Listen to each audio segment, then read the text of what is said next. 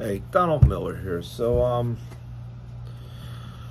I don't usually make a video about comments, okay? If someone asks me to make a video, I'll make a video, but I have a guy, I guess, making comments on my channel, um, stating how don't get into the trades, go to college, blah, blah, blah, blah, blah. The trades don't pay, and all this negative stuff, okay?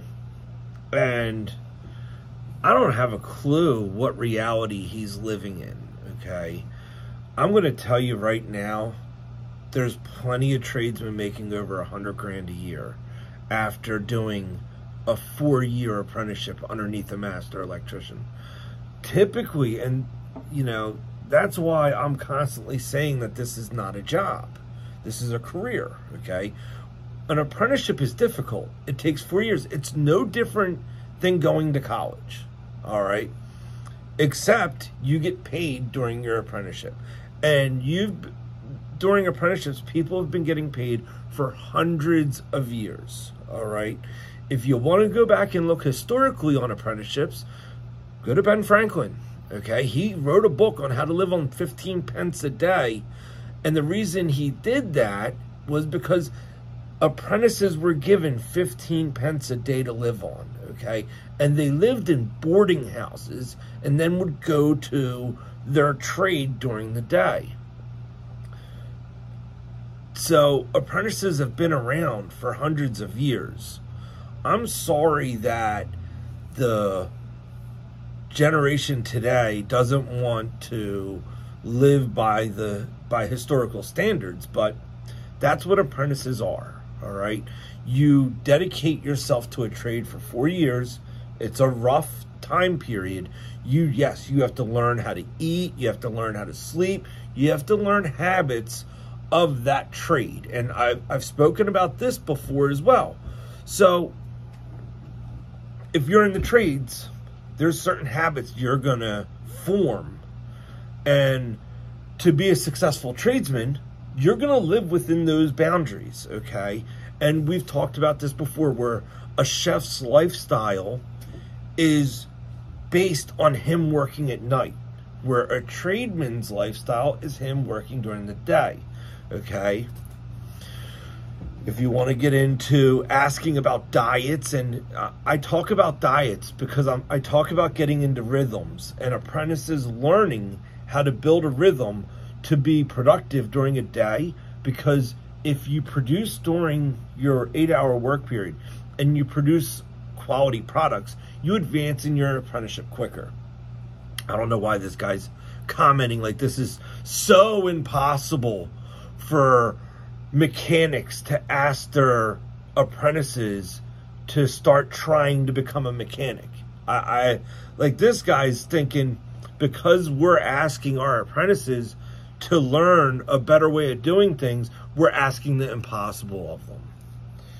And it's comical in a way because we're gearing the apprentices to become mechanics, then master mechanics, so they can generate an income that can easily be lived upon. And I want to make sure everyone understands this. You enter your apprenticeship making next to nothing. While in college, you have to pay them to go to college. In an apprenticeship, you're getting paid. So, right off the bat, if you enter the trade, you get paid to learn the trade. Okay? It's not a job. You're in an apprenticeship, you're learning the trade and you're being compensated for it. And you get compensated more as the years go on and you progress in the trade. When you enter the trade, you're paid next to nothing. Like it's not minimum wage, but it's not something to live upon, okay?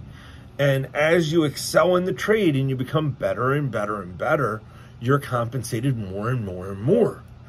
And master mechanics easily clear 100 grand a year.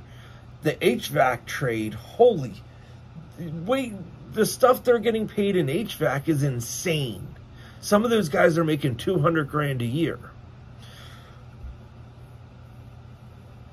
So the negative comments I'm receiving because I describe nothing more than an apprenticeship and teaching guys rhythms and teaching guys how to eat correctly and how to sleep correctly and and things that'll make them a better mechanic. All of a sudden I'm invading their way of life. Well, don't be a tradesman. It's that simple. If, go to college, okay?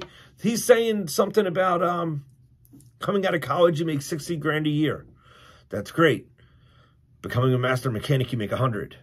Okay, it takes 4 maybe 5 years to become a master mechanic. If if you put in the time.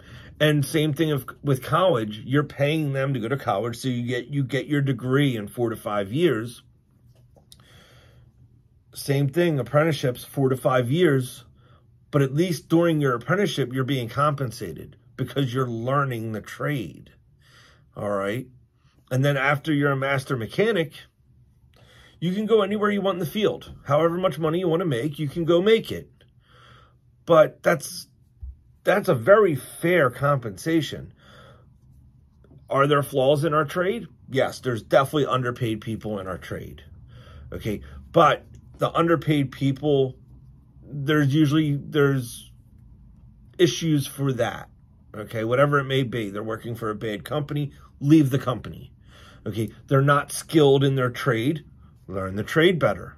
All right it's it's the ladder of the electrical trade is amazing. And that's what i don't understand. Like in the electrical trade it's very easy to see how you can step up and get raises and go to the next level and go to the next level and be compensated fairly all the way through. If you choose that you do not want to better yourself or you do not want to change and you continue to have bad habits then you're going to be paid in accordance to those bad habits. Sorry. I have nothing else to say in this video except for that, that I'm surprised that a couple of my videos of how to get apprentices in line to become a mechanic are getting backlash by some negative comments. I was I, like, I don't know what to tell you. Okay, but no, the trades pay very well to the ones that apply themselves and become tradesmen. To the other people that don't, it's just a job to them. And yes, in the electrical trade, there's plenty of people that view the trade as just a job. Okay, you're going to get paid that way. To the ones that view it as a career, you will also be paid that way. So, don't know what to tell you. God bless. Enjoy your Friday, everyone.